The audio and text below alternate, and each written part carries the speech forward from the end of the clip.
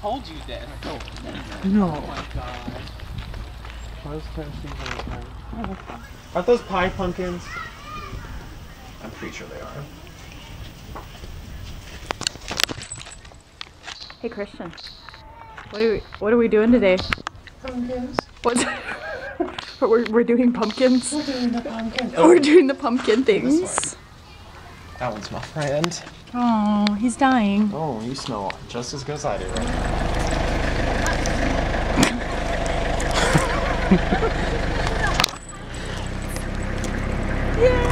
Hi.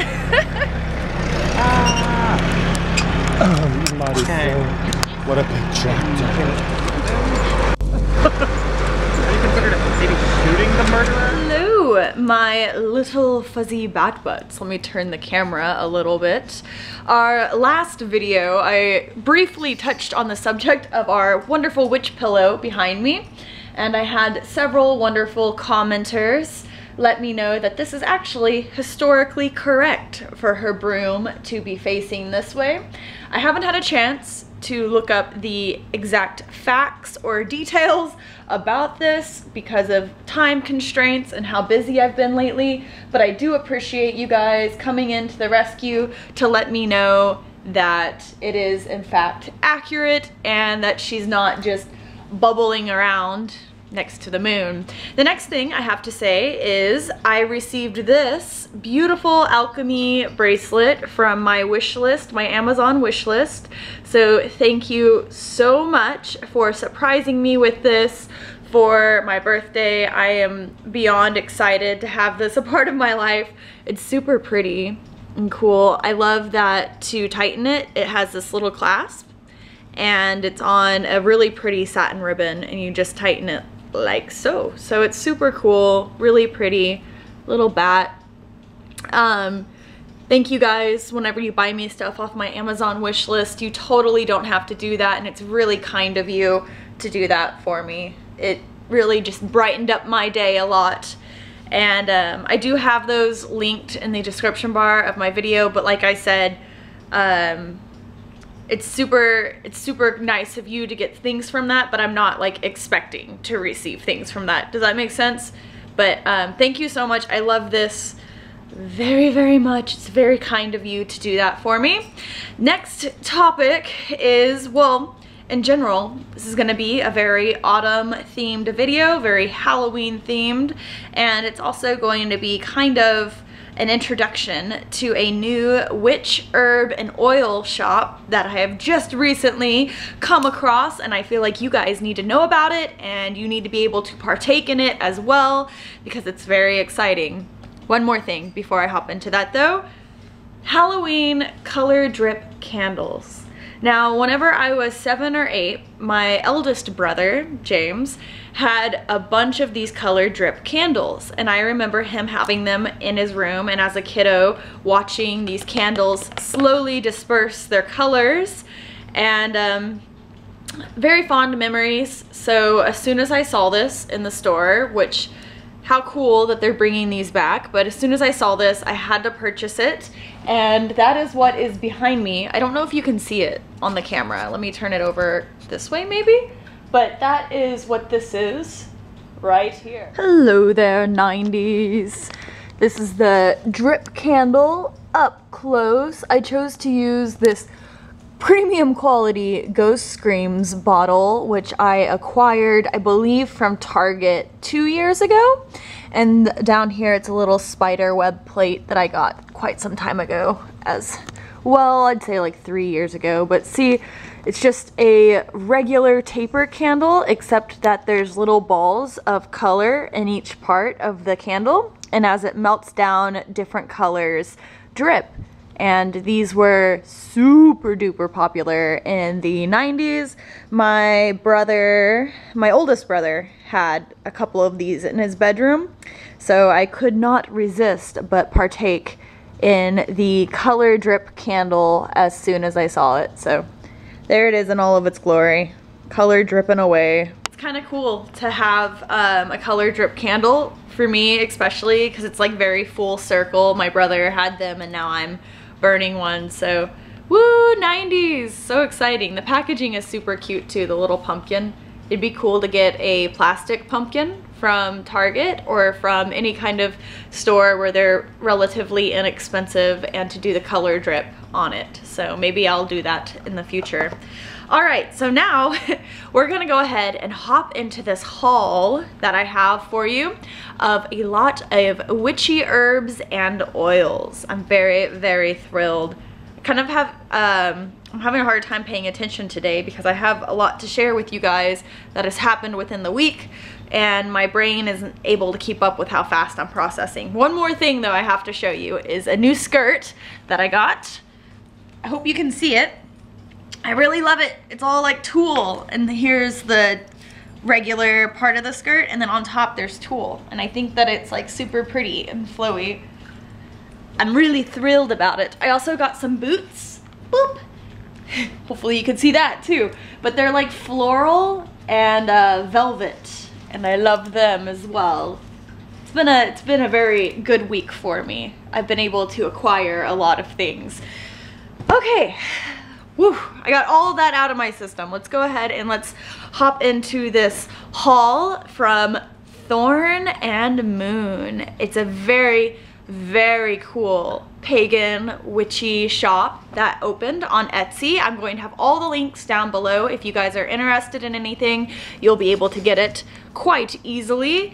Um, they also sent me an info sheet on everything, so I won't give you any misinformation which I would never intend to do, but sometimes whenever I talk about things, I don't quite have the facts nearly as straight as they could be.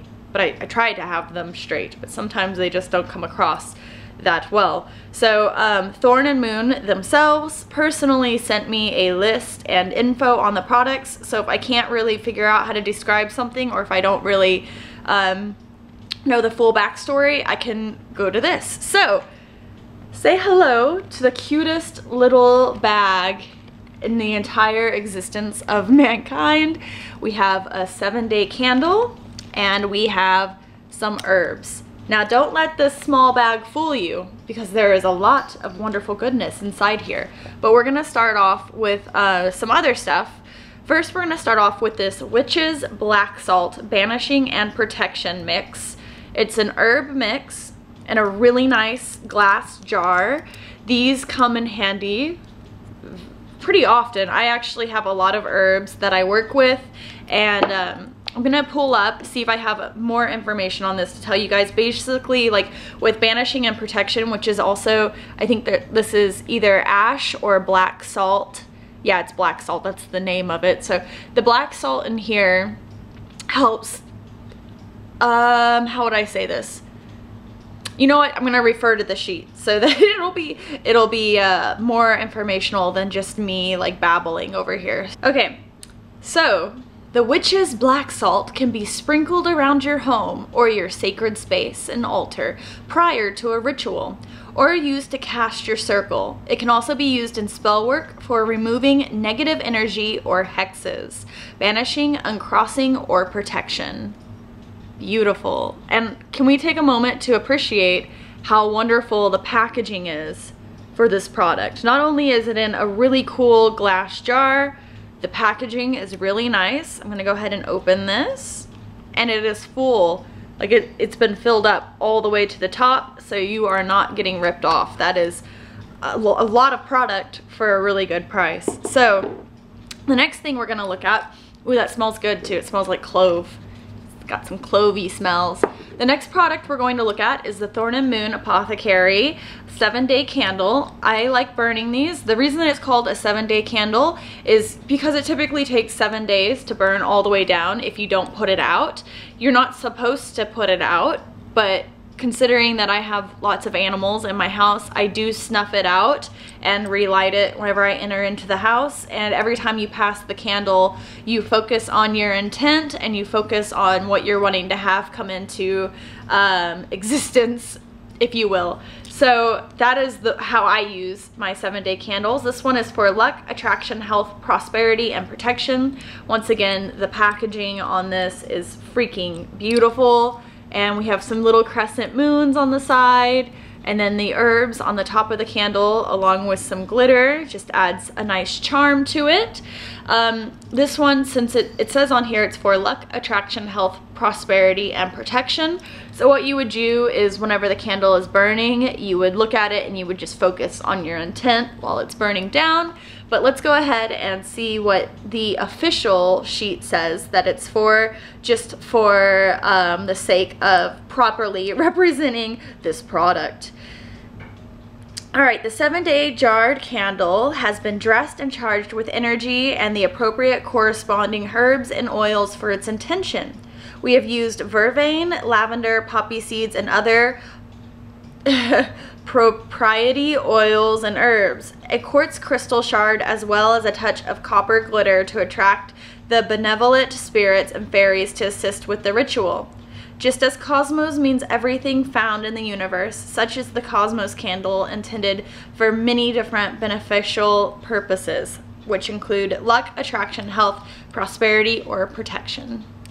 How cool is that?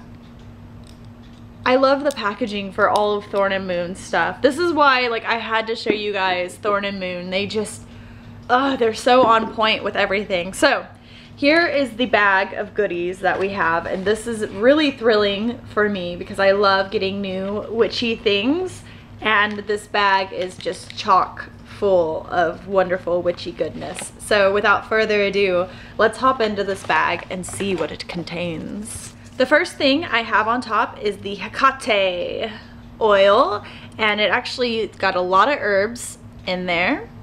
The packaging once again is freaking beautiful. So great. We have a little chain with the tassel right here. Wow, it's so pretty. I want to have a sniff of it. Right meow. Mmm. The first thing I'm noticing is a licorice smell. There's um, licorice and there's also lots of flower um, scents. I will, Hecate, Hecate, Hecate, however you would like to say her, I actually have her tattooed on me right here. She is um, known as many things, some of most being like a goddess of witches, but that's my protection tattoo and it's Hecate, and I love it very, very much. But um, here we go. Let's hop into what this oil is about. Hey, Achilles, let's stop yelling, little kitty. I think you're okay. You are. Okay, so this says, Guardian of the unconscious, Hecate stands at the crossroads of our subconscious. As she watches us approach, she can both see backward and forward into our lives. As Dark Moon Goddess of the Dead, she not only represents the destructive side of life, but also the necessary forces that make creativity, growth, and healing possible. Our Hecate ritual anointing oil is made from pure essential oils, herbs, bark, and other natural elements that have been used to call forth and in offerings to Hecate. Willow tree bark, bitter almond, mint, anise, cypress, cypress, myrrh, lavender, cardamom, and other witchy potions. Each bottle is also enhanced magically with a moonstone and created on our altar charged under the dark moon for Hecate's blessings. Freaking beautiful bottle. So great. Okay, the next item that we have in here is more herbs to work with at the altar. This one is also for Hecate and um, I think in the last little description, we basically described some of the uses for that. But let's go ahead and look into the herbs and I can read from this so that it makes um, some, some pretty good sense. So you can use this incense with your intent to bring yourself more connected with Hecate while working with the great goddess of the crossroads. Very, very nice. Super cool. Once again, the packaging Look how pretty. And there's a lot in there for what you pay. You're definitely not getting gypped. Very, very excited about you. I'll have to show you guys my little witchy cabinet. Maybe do a tour of my witch cabinet. I think you guys might maybe like that. It has a lot of herbs and all kinds of wonderful goodness over there. So these are gonna look familiar and it's because Thorn and Moon is owned by or is co-owned by Madame Josephine, which I get a lot of you guys ask me what happened to her company and that you want to get some of her perfumes and such. Have no fear, she is back, but in the shape of Thorn and Moon. So I have three beautiful perfumes here I am very thrilled about. Some new scents that I haven't tried yet. This one is called Tobacco and Amber. Very exciting. Here we go. Let's have a whiff. Oh my god. Oh, smells so good.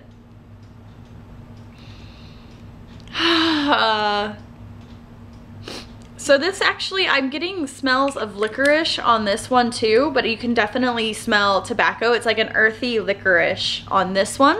The other one we have here is called Hazel. Let's have a whiff of this one. Oh, I really like this one. This one is sweet.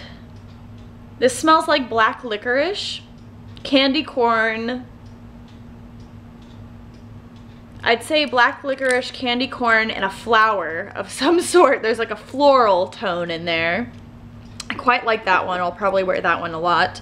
This one is also called Hecate, and it's got a lot of herbs in there as well. This is the Roller Ball perfume which is slightly different than the dropper we had.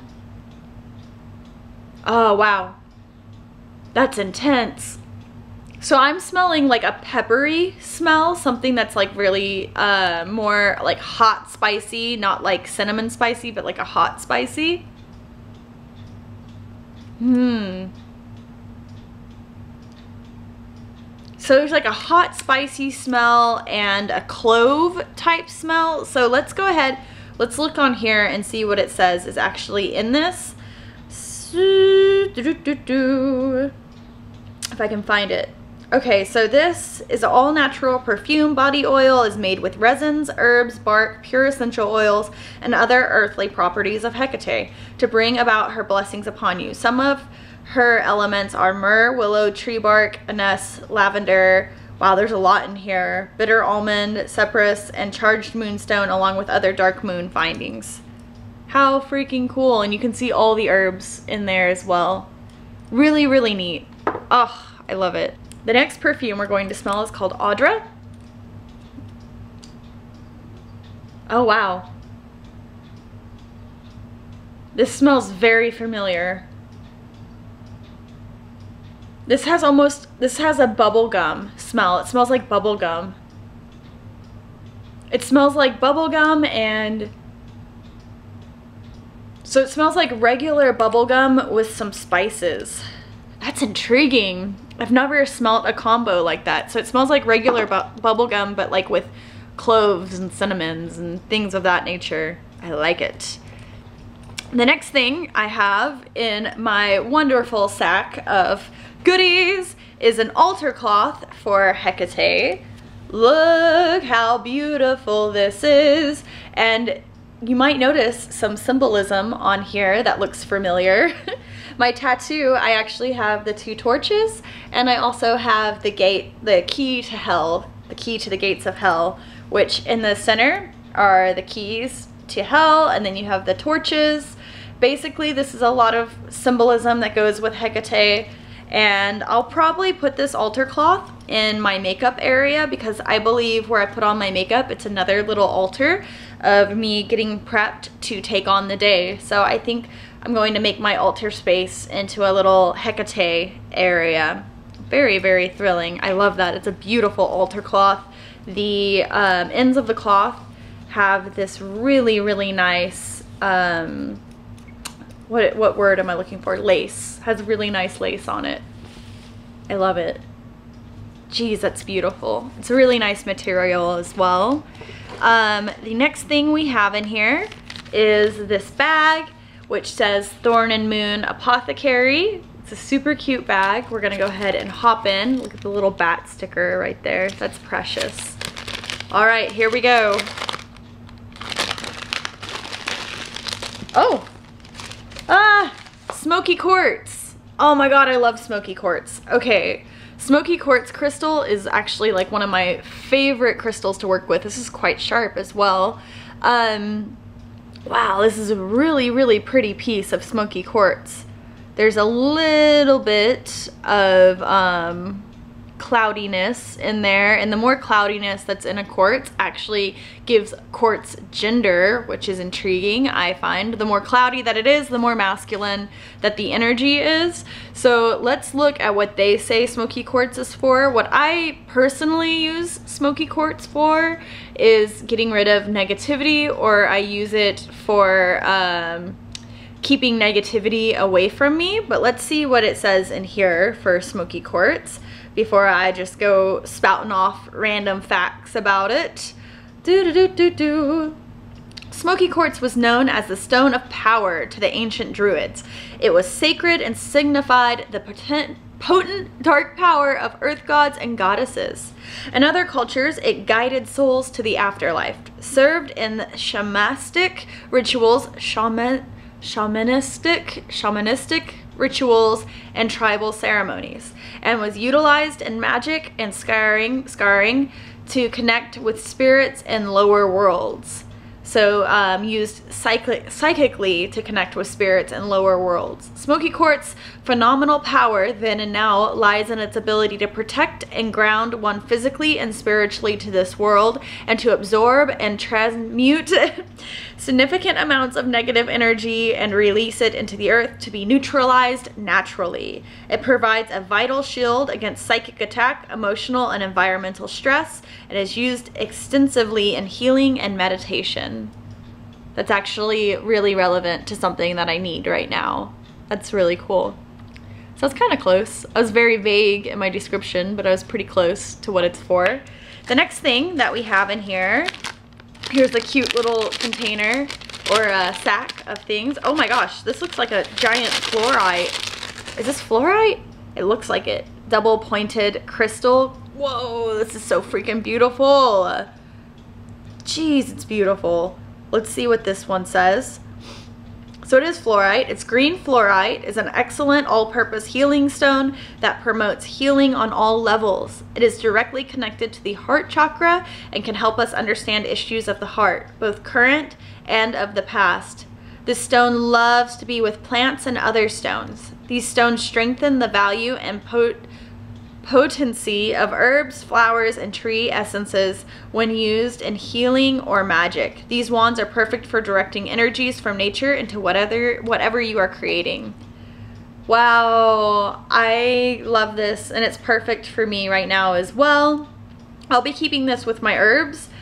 I also feel like um, I carry a lot of herbs and uh, incense with me and I'll probably keep it all together in my bag with this super excited to have it. I'm also a Virgo, so I'm an earth sign, and I'm more partial to things that have to do with the earth.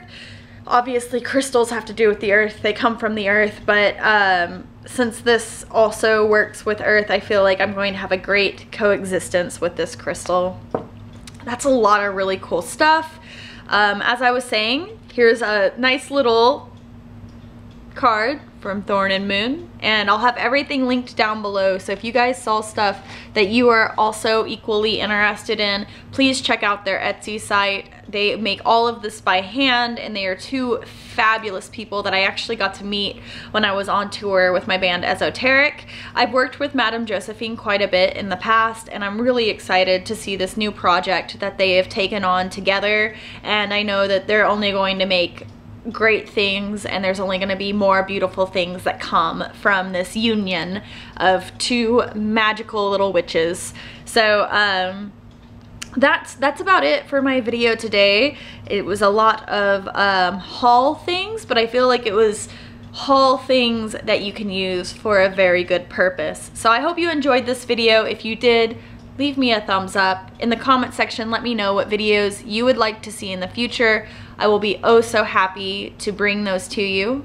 Let me show you my altar space really quick since I brought it up when we were looking at these herbs. Altar um, space. I work with Scothy or Scotty, however you would like to pronounce her name. Um, whenever I was in Iceland, I actually asked a local how to pronounce her name and they said it was Scothy. So that is how I've been pronouncing it. Here she is being beautiful. She's the goddess that I work with. Um, in the background, this is actually a log that I got at the Viking Festival a year ago or so. But um, I got it just out in the woods and it feels nice. So I put it on my altar. Um, I do a lot of shamanic or shaman related drumming, and this is my guide, my Fylgjur, which is Nordic for an animal guide. Uh, it is the Arctic fox, and it is the animal I work with the most. This is my wand. It's selenite with opalite, and I use this to center myself before I start doing drumming rituals. These are also selenite taper candle holders on all four corners, and that helps protect against uh, negativity. It creates a barrier of sorts of just um, protection, really. And this is a selenite sphere that I work with quite often as well. Uh, since I do have animals, whenever I am doing my drumming rituals. Usually you would do it in front of a fire pit or something of that nature. However, I do mine in front of a very bright candle. So, I mean, it works for me. And there's this really cool wooden thing I have under it. Oopsies. Okay, so it's got the runes all around it, acorns, and it's just a really nice power charger for whenever I'm working. And of course I have my incense and things right here, which I have not cleaned off yet. So please forgive that. But if we pan up just a little bit, oopsies, ugh, if I can stand up. We pan up just a little bit and these are a lot of the herbs that I work with. Um, a lot of them are just in their raw form and this is my pestle and mortar, mortar, I can't ever say that correctly, but it has little holly leaves on it which kind of go along with, I work with Winter Goddess, so it kind of goes along with that. And um, in here is just a lot more herbs that I work with. Some of them are in raw form and some of them are already in incense form. This is something I really love and I got it from New Orleans and I use this whenever I am doing my drumming rituals. It's a really, really nice product from um, Esoterica in New Orleans. If we look inside the drawers, this has a lot of oils, but it also has um, sage. I do use sage pretty often. These are just some small bundles that I have on standby for whenever I need them. This is a lighter. I know that some witches like to only use matches or things that don't come from a lighter, but in my humble opinion, fire is fire and it doesn't matter where it comes from. And that's how I feel about that. that could start an argument, but that's just how I feel. So I've got um, a variety of different sage bundles in here for different purposes. These little straws I have I actually cut in half so they look kind of like a scoop or a spoon and I use that to get um, the appropriate amount of herbs out of my jars or incense out of my jars for whatever I'm working with. On this side I actually don't really, so this side I have more herbs in here which I haven't dug into yet. I'll probably get jars for them, but it's just a variety of herbs. This is a giant baggie of lavender that was sent to me by one of my viewers. And then I open up this side and this side has incense, which I am obsessed with this incense. It's super great. And then the rest in here are just tools and things I have on standby for whenever I need them. Different oil burners or incense burners, um, candle holders, things of that nature that I might need for ritual. So you guys have seen my altar space. I hope you enjoyed this video. Go ahead and let me know in the comment section down below what you would like to see in the future. And I will talk to you guys again very, very soon. Mwah! Juicy! If you cut off my head, what would I say? Me and my, me and my head or me and my body?